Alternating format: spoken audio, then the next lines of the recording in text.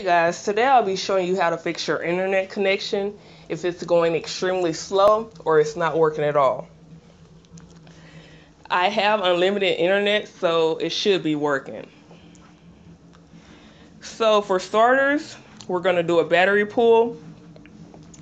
We're going to leave the battery out for 5 seconds and then we're going to replace the battery back in the phone and we're just going to reboot the phone if you have no way to take out your battery, we're just going to go to the next step. So we're just going to go to the settings. We're going to search mobile network.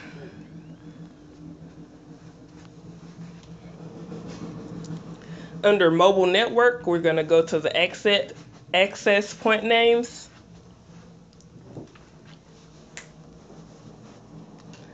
And then the three bars in the right corner we're going to click on that and we're going to say reset to default.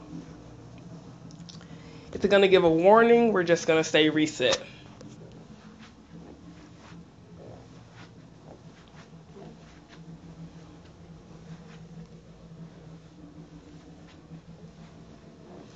So we're going to go try to get on the internet now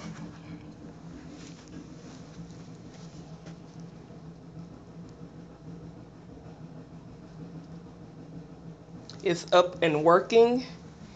If this video was helpful or if you enjoyed watching the video, please like and subscribe to my channel. Thank you for watching.